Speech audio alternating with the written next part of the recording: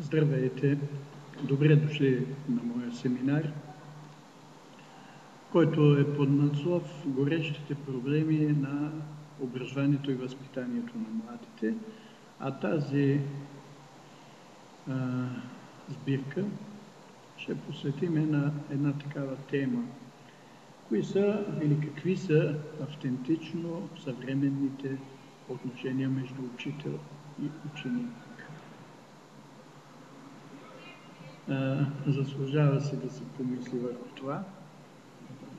Тия отношения учител-ученик, ще говорим не глобално за света като цяло, а у нас. Каква е ситуацията? Разбира се, има всякакви учители, има и всякакви ученици, тъй че наистина е сложно да се генерализира и да се каже, ето в момента господстващия тип отношения са такива и би трябвало да се променят, евентуално в еди каква си посока и така нататък. А наистина е много сложно да се говори в общ план. Вероятно трябва да се разработи някаква типология, типове взаимодействия между ученици и учители, типове, типове общуване и да се прецени на тази основа кои типове са евентуално най-модерни, съвременни, адекватни на ситуацията, на душевните нагласи и така нататък. А, това е доста голяма задача, трудна задача. Аз признавам си, не съм работил в тази посока, така да се каже, съзнателно или по-задълбочено по-целенасочено. Мога да кажа, възоснова на опита си, вече 30 години съм преподавател в университет и в училище. Съм работил в тия години. Много неща съм и преживял, и съм наблюдавал, и съм възприел. И на основата на моя опит бих могъл да да се опитам да опиша кой според мен е най-добрия, пълноценния тип общуване между учител и ученик в съвременните условия. А, сега зависи задачата на самото общуване. Каква е? Нали, ако учителят се изявява само като преподавател на дадени знания. Т.е. отношението учител-ученик е чисто, да го наречем, познавателно или чисто дидактично, единствено като обучение, където те си предават така взаимно някакви представи, или знания, тогава нещата, така абстрактно погледнато, са сякаш по-разбираеми и по-ясни. Учителят обаче не бива и добри в този случай да бъде водещ субект. Не. А да не говорим пък за единствен субект на отношението. Тоест учителя да бъде субектът, учениците да бъдат обекти на някакви дидактични, там педагогични взаимоотношения, но тази дума взаимоотношение съдържа и втората страна, а обекта като обект не може да има отношение, не може да стъпи в отношение, субекта встъпва в отношение. Следователно, превърнаме ли ученика в обект, просто обект, то ние си отрязваме възможността да взаимодействаме. Той става пасивен, цяло пасивен, инертен и така нататък. Са, ние много често се чудим защо нашите ученици не са активни, дезангажирани спрямо основната си дейност, ученето, най-вероятно се е случило нещо такова. Грешката е в тази посока. Разбирате ли? А, разкъсала се е тази, как да кажа, субектна връзка. Защото, безспорно, ученикът също трябва да бъде субект, а, бидейки човек, бидейки личност, ако бъде признат за субект и за личност, за човек и за личност, то неизбежно тогава той ще бъде и субект. А бидейки субект, значи учителя е субект и ученик е субект. Когато възникне едно такова междусубектно отношение, нещата вече са поставени на а, адекватната основа. Значи, кой ще бъде активният? И двамата. А, учениците даже в някакъв смисъл би трябвало да са истинските, автентичните субекти на своята дейност, каквато е дейността учене. Учителя трябва да бъде субект в смисъл да ги подпомага. Не да носи цялата активност, не да дава на готово всичко. Учениците би трябвало да ги обслужва, да ги подпомага и да ги насърчава, да създава потребни условия. Тоест не е негова главната задача, негова, не е негова главната роля. А тя трябва, център на тежестта би трябвало да падне върху самите ученици. Да, обаче ще кажа някой това абстрактно погледнато чудесно. Учениците учат, ние учителите ни помагаме, а, насърчаваме ги, създаваме условия и така нататък. Но как да се стигне до това, дали те са изцяло неопитни в тази дейност?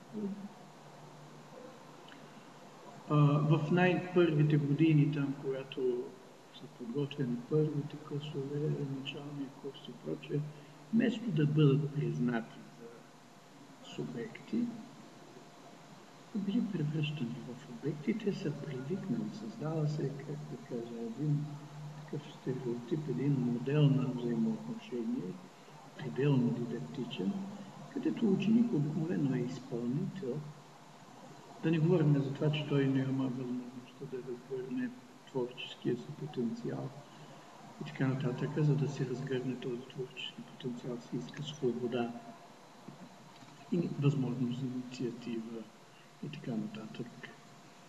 Тия неща, ако се потиснат в най-ранните периоди, тогава представете си какво става по-нататък и до края.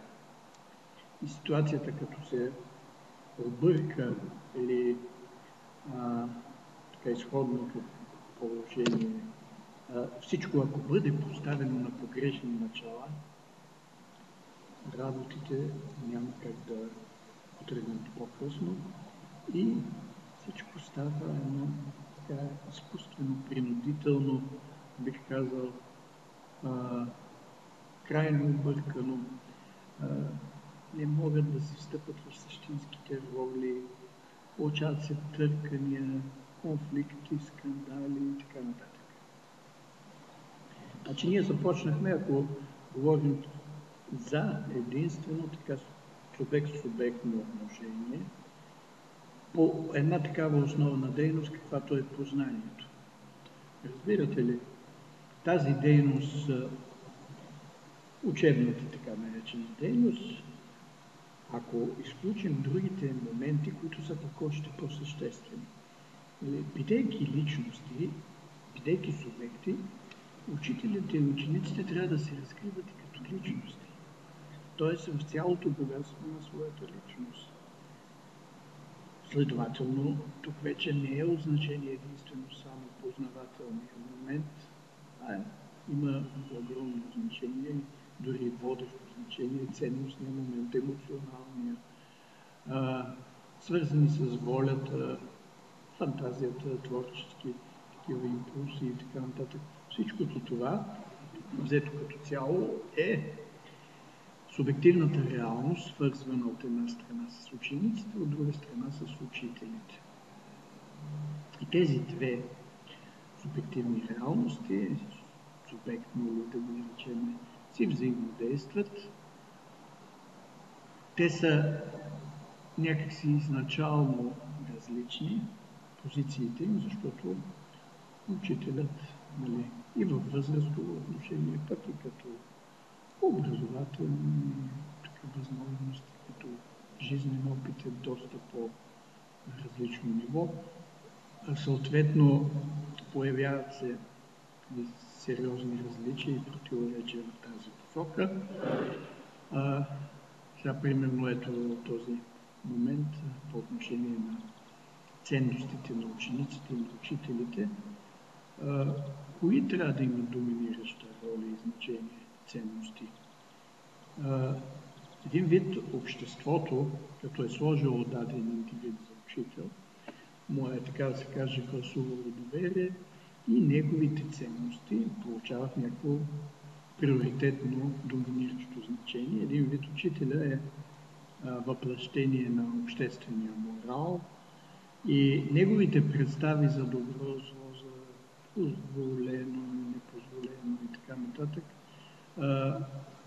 би трябвало да бъдат един вид натрапвани на учениците, като някакъв модел, като образцови, като задължителни и така нататък.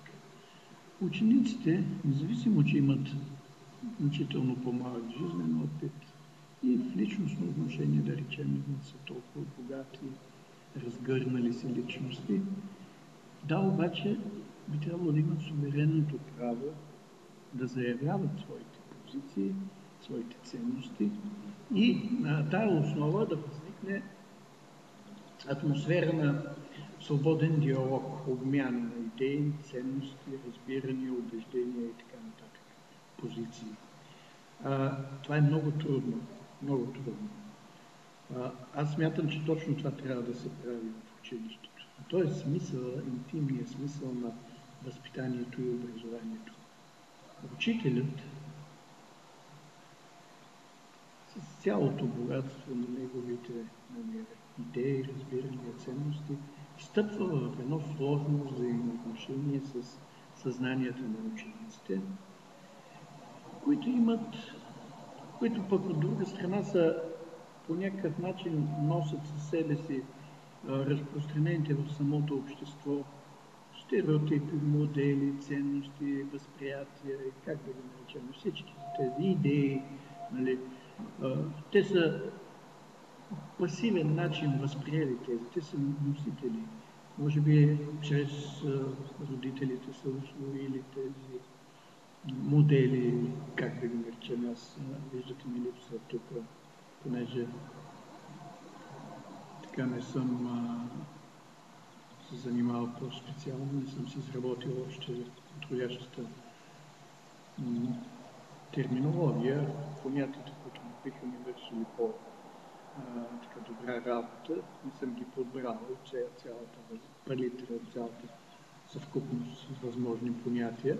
Затова се затруднявам в момента. Но тези различия между двата, двата полюса на това взаимодействие, учениците и учителите, са неизбежни, те са а, съществени, необходими и също време става един такъв сблъсък. А, той учителя всъщност не е извън обществото. Учителя е също една емпирическа личност, която има своите предразсъдъци, своите, своето своеобразие, своите там, да ги наречем, предразсъдъци, не, не, не, дали употребих тази дума или своите мнения, своите преценки и така нататък. Имат си ги те, своята, общо казано, ограниченост, едностранчивост и така нататък. Сега, единственото спасение в този случай, учителят, сега цялата работа е как той да има авторитет, защото все пак, виждате ли, дори да водят най-свободни дискусии, обмяна на мнение на учениците, между другото, учителя не трябва да се меси, според мен, чак толкова. Той трябва да се умее да създаде условия, да възникне разговор между самите ученици, а не да бъде диалог между учениците и учителя, при което диалога трябва да бъде вътре между самите ученици. учителя да участва като страна, а, един вид да застане на позицията на самите ученици, неговата роля да няма приоритетно значение, доминиращо и водещо. А, сега, разбира се, с, а, по силата на авторитета на, така, на а, опитността на самия учител, той би могъл, изказвайки се в тия дискусии, да оказва силно влияние в желаната посока, позитивно влияние, а, но трябва да става, разбира се, това много деликатно, много фино взаимодействие с а, цел да има някакъв а, наистина позитивен ефект. Защото ако учителя натрапва своите позиции, воден от това, че така официално или казионно неговата позиция е един санкционирана като именно казионна и държавна, и официална и така нататък. Значи, на тази основа ще възникне неизбежно и недоверие от страна на учениците. Чувства ли се този момент на натрапване? Една а, гледна точка да има приоритетно господстващо определящо значение и всичко останало да се разглежда като а, отклонение от нормата, така да се каже, а, възниква недоверие, унищожава се така, а, самата възможност за един пълноценен диалог, свободен, обмяна, непринудена и така нататък. И ефектите, желаните ефекти изчезват, губят се, всичко се изражда. Разбирате ли?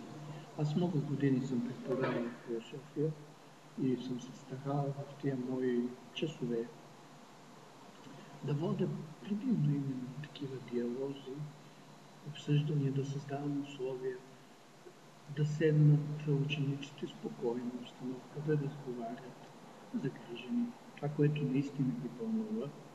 Сега много често става така, че програми и прочее са, а, те предписват една а, посока, която много трудно може да се съгласува с умния душевни а, вълнения, които преживяват самите ученици. И много рядко се получи едно такова съвпадение, това, което програмата изисква, това, което вълнува, да речем, ако не всички ученици, то поне една група, един кръг по интереси за тези ученици. И виждате ли, като вземе човек да разсъждава в тази посока, се оказва, че работата ни, на нас, учителите, възпитателите, е безнадежна. Именно заради изключителната си сложност, а, как да кажа, не, а, понеже има много фактори, условия, които трябва да се вземат предвид, нали, ето програми, изисквания, предмети, различните субективни вариации на преподаватели, типове преподаватели, типове ученици. След това а, настроения, моменти а, и така нататък, отношение към самата институция. Примерно на учениците, ако не им е приятно в училище, по принцип. Как в, примерно в част по философия да бъдат предразположени, да им стане приятно, да се чувстват добре, уютно, да се отпуснат да говорят спокойното. Нали? Те биват общо взето турмозени, изпитвани а, по насилствен път, където такова нещо като свободно обмяна на идеи, мисли, това нещо им е непознато. И даже може да се получи така, че преподавателя, такъв, аз това съм го усещал много пъти, с недобро око се възприема преподавателя, примерно по философия, който се старае да създава такива условия за едни пълноценни дискусии, разговори. Казват се, чакай сега, той първо това не му е работа да ни кара нас да се водим тук едни свободни разговори. Той е преподавател и трябва да ни учи на някакви неща. Значи аз явно той е немърлив преподавател, небрежен. Щом не си върши работата, ми преподава, ми седна тук да ми се прави на интересен и да ни организира някакви дискусии. Общо взето така съм бил възприеман аз във всичките тия години. Като бяла врана или бяла лястовица, и точно така сме се чувствали във всичките тия години. А преобладаващия, според мен, ето да се върне на това, най-вероятно е този преподавателя. Това са такива останки от една авторитарна педагогика, командна, дидактическа система, даже бих казал административна система. А, нещата там са ясни. Преподавателя е безусловен авторитет. Той знае всичко, той преценява, той оценява, той обяснява, той преподава, а от учениците се изисква да възпроизвеждат, да имитират това, което прави преподавателя. Разбира се, позицията им изначално е унизителна, тази на учениците.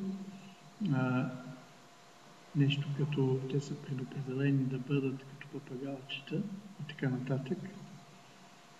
А, какво той мисли субективно, как е възприел, а, може ли по свой начин да каже същото, да прецени, да оцени. Ето този оценичен момент отива по дяволите на тази администрация. Там се набляга на голото, сухо, едностранчиво, теоретично, бих казал абстрактно знание. Тоест, чисто познавателният момент се извежда на той става абсолютен, а пък ценностният момент, субективният момент, чувствата и така нататък, субективните преценки, гледните точки, позицията, личностното отношение, всичкото това или е много на заден план изтикано и почти не се забелязва, или пък изцяло се игнорира. И в една такава позиция преподавателя вече след като е обявен за властелин, за абсолютен господар, абсолютен авторитет, абсолютен всезнайко и така нататък, неговото мнение е меродавно. Нали? Тук вече на тази основа какво значение има, какво мисли там моя ученик, какви съмнения има, какви а, трепети го вълнуват, това абсолютно никакво значение не може да има. Аз смятам, че у нас, за жалост, точно тази дидактична, педагогична система е доминираща, господстваща, има монополно значение, разпространение и така нататък. И всичко останало се възприема като инцидент и като отклонение от нормата. Значи учители, които се опитват да установят друг тип отношение с учениците, както аз преди малко говорих, на основата на признаването на пълноправни субекти, възникване на така на равнопоставена основа на обмяна на мнения, на идеи, в които учителя не стои на така някаква абсолютна гледна точка, а е просто един от многото участници и би могъл доста по-деликатен начин да влияе, а не да натратва. И така, формалната страна, ако е водеща, нали, официалната, да го наречем, страна, тогава нещата виждате как са предписани, натикани са в един канал и всичко тече. Между другото, аз съм на мнение, че това, което се случва в училище, трябва да има характера на живот, на, на жизнен процес. Разбирате ли? Сега много е сложно надълго и на широко да се опитвам да обяснявам сега. Как така? В училището трябва да а, бълбука да тече, да се изявява един духовен живот, живот на личности, обществен живот, граждански живот, ако щете. Всичко, което става в училище, трябва да има характера на живот. Аз ще кажете то какво е, мъртвило някаква мъртвина. Да. Когато се а, получи една така стерилност, една абстрактност, когато се елиминират уния съществени човешки моменти, уния моменти, които правят общуването ни по и човешко, тия моменти, когато се игнорират, пренебрегнат, стъпчат и така нататък, тогава нещата а, неизбежно отиват по дяволите а, и не могат да имат характера на живот. Живота какво е? Свобода, непринуденост, естественост, спонтанност, импулсивност, стихийност, даже бих казал, не го казах вече, защото днес съм а, много а, здравословно не съм добре, имам си здравословни проблеми и а, това най-вероятно се почувства на моята беседа, на моята встъпителна част тук. Много се извинявам, че нали, така се случва и така се налага. Ужасно състояние съм и нямам подобаващото настроение да се изкажа както аз бих искал, но доколкото можах да се съсредоточа и да анализирам, аз между другото много пъти съм писал, говорил и така нататък, моите книги, тия неща съм ги развивал. Моята, така да се каже, борба в всичките тия години е била в тази посока. Работил съм и надявам се Оня, който се заинтересува, може да намери тия неща да ги прочете. Те са свободно сложени в интернет и са издадени като книги. А, всеки може да си ги набави, да се ориентира. А, дошъл е момента нали, нещата да се променят, обаче надеждата да стане всичко това по един дирижиран ръководен от самата администрация, от самата бюрокрация начин, чрез някаква правена отгоре реформа. Това е вече, според мен, химера, това е безнадежно очакване. Не бива да чакаме това. Всеки трябва да започне на своето място да прави промяна, промени, да се опитва да бъде адекватен на съвременните условия. Общуването между ученици и учители трябва да бъде свободно, центрирано около принципа на свободата, да бъде демократично, либерално отношение. На тази основа ще се появи живот в училищата. Разбира се, знаете ли, свободата е опасно нещо. Свободата води до много конфликти. Тя води до хаос, както казват, до свободия, до анархия, до лудница. Много изпитания има.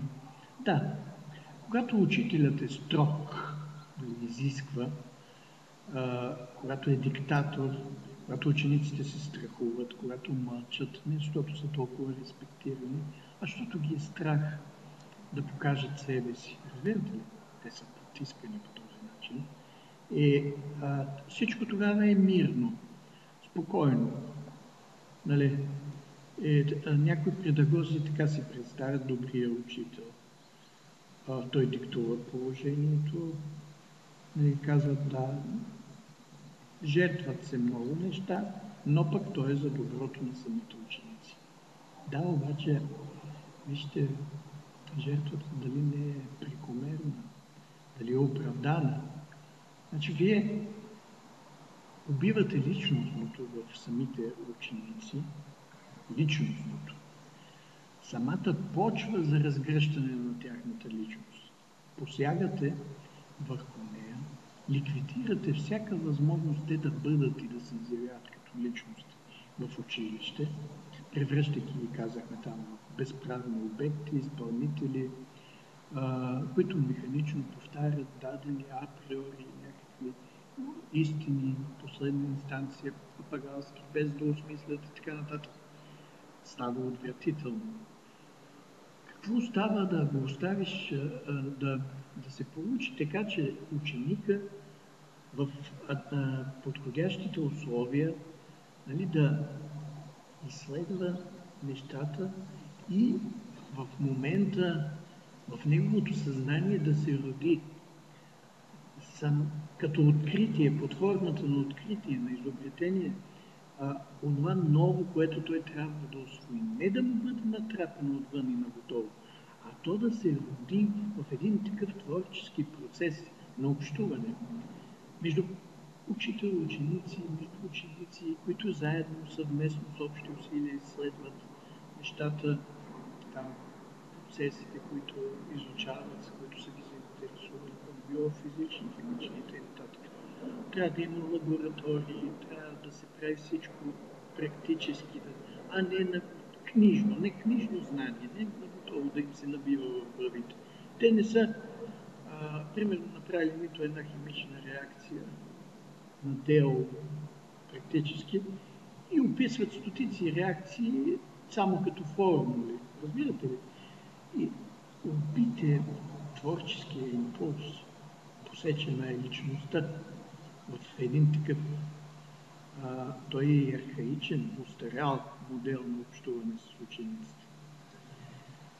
А, значи авторитарната педагогика, антидемократичната педагогика, а, потискането на личността, на творческия потенциал на учениците, възможността те да се разгърнат, изяват, да се почувстват свободни, защото личността е такова нещо, че то се формира в изявяването си. Не някак си така личността да стои а, като заложена вътре, все едно е някакво имане и след това в един момент почва да се изявява. Не, тя се създава, тя се сътворява в междуличностното общуване. Значи ние, нашето общество страда от най-голям дефицит, дефицит на личности. Защо в обществото ни?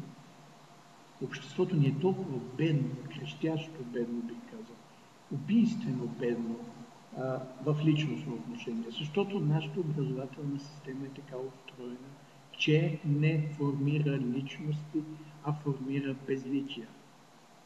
Формира безлични а, продукти на тази анахронична, античовешка, антихуманна система, дидактична система, която буксува от години наред, в която се пропиляват и жизнените сили на учениците, и времето, и личността и всичко.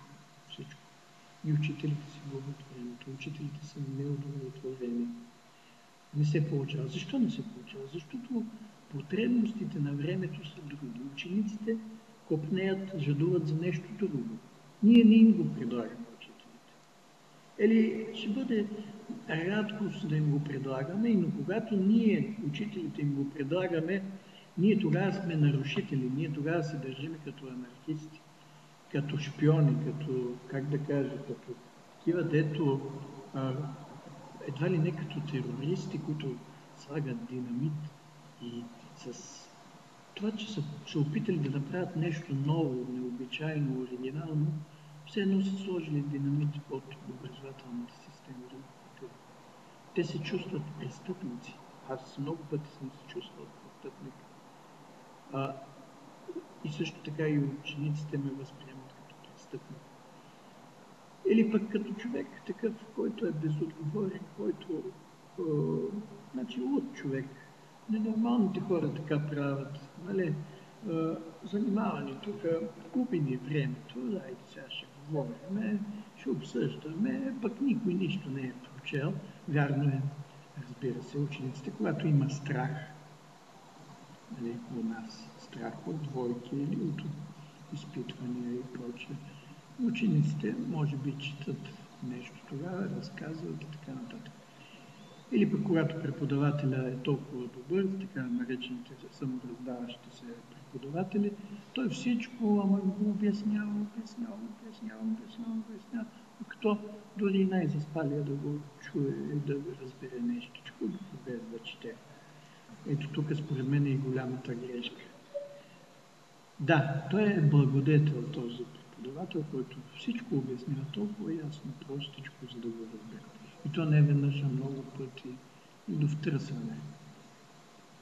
Да, обаче по този начин той вреди на учениците. Разбирате ли, няма как да ви стане интересно, когато вие сте просто превърнати в един консуматор.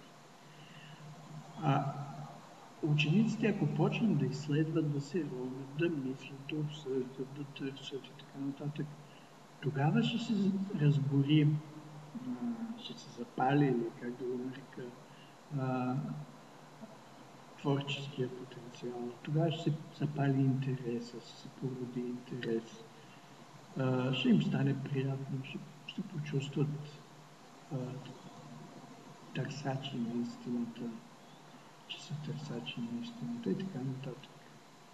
Когато нещо се роди по верния начин, по автентичния начин в съзнанието на учениците, когато те нещо са го постигнали със свои сили, то ще остане за тях за цял живот. Те вече са станали други. Те са се променили. Те не са същите. Разбирате ли? Ето там е целият въпрос – там е сбъркана нашата образователна система, защото а, че ние ги хем обезличаваме, хем ги превръщаме в прости консуматори, хем скуката в резултат в училището е убийствена, хем няма живот, хем училището става на мъчилище, учениците ходят с крайни неприятни чувства. Е, разбира се, за да си доставят и приятни емоции, те си правят своите простоти, глупости, слушат си музика, бърборят си, говорят си. Когато учителя е така не толкова авторитарен, създават една неприятна обстановка, говорят си, хилят си. Те си искат да се забавлят. Между другото, живота е това, свързане с веселието, забавите, развлеченията и прочее трябва да стане така, че в училище тези забавните неща, игрите, развлеченията, веселието, да си имат много така добре застъпено място. Ако искаме в училището да има живот, тия неща не могат да бъдат доволни. Не можем само да бъдем сериозни и така нататък. Мисля, че казах основното. Ето може още много да се говори, че ми е интересно и в блога ми, и тук на дискусията в училището, когато се а, обсъждат тези проблеми, може много още да допълня, да се включа, пък аз само моята идея е била такава, да отхвърля някои неща, дано някой се замисли, дано някой кликне имам безпокойства, ред безпокойства, да има доста неща, които смятам, че се нуждаят от прецизно взиране от наша страна. Не бива това безхаберие, тази, как да кажа, самодоволство. Просто сега сме седнали тук, ами нещата си върват. Какъв е този там ангел Гринчаров, дето се прави на интересен? Все е нещо било объркано, се ето, сега, той най-вероятно обикновено така виждате ние какви сме българите. Той, той Ангел Генчаров явно а, прави всички тия неща, защото той, както ми го пишете в блога, той явно, понеже не става за учител, не, не може да се справя и затова е такъв а, а, така имитира някаква активност. Аз а, не желая да отговарям на тези неща пространство друго. Има всякакви хора. Има много конфликти в училищата, много напрежение. Страшно е, ако не се даде, ако се не намери отдушните по естествени канали да се изразходва това напрежение, кой знае какво може да стане. Разбирате ли? Може да станат страшни ексцесии бунтове на, на ученици. Учениците да не издържат и да, да, да почнат да, както в Китай, Конго и били да са пребивали учителите си. Разбирате ли, ние не можем, ние трябва да се сработваме непрекъснато, учители и ученици. А начинът за постигане на такова взаимодействие е този свободно. По всеки въпрос, абсолютно всеки въпрос, трябва да бъдат питани учениците. Вие какво мислите? Как трябва да бъде? Как да го правим? Какво искате? Какво ви е потребно? Сега това, че Министерството не пита учениците им е потребно, какво искат да учат, това е от една страна. Това те първа ние заедно трябва, учители и ученици, да се преборим, да ни питат, най-вече да питат и учениците, и родителите, какво искат, за какво са изпратени. Никой не пита учителите, учениците, родителите, пък и учителите. А те са реалните участници. Представете ли си? Всичко, което ние правим, е предписано от хора, които реално не участват. И те ни задават някакви норми. Ние сме някакви изпълнители, разбирате? Цялата работа е така в тази наша система. Но да не се разпростирам повече, благодаря за вниманието. Да видим дали това клипче се е получило, защото нещо имам проблеми с компютърчето. Всичко добро ви желая. До нови срещи на моя семинар. Да се надяваме, че всичко, което говоря, не е съвсем без смисъл. Всичко добро.